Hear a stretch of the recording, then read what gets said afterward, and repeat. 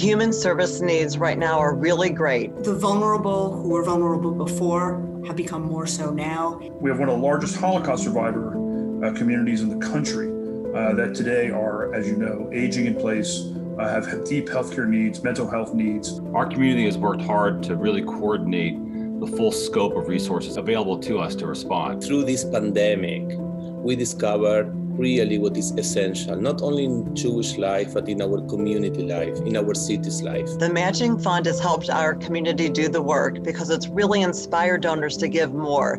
They know they're leveraging the match and their gift will go even further to help others. The Matching Fund has really created a call to action, a national call to action, which has really ramped up the urgency in terms of our response. When I think about the needs in our community right now, I think about hunger.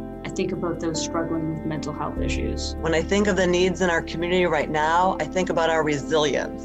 Federation is able to respond because we live on the front lines. Because we change lives. Because every single day, we have the pulse of our agencies, our synagogues, and the rhythms of our community. Federation is able to respond because of generous people who care. You should give now because the needs are very real.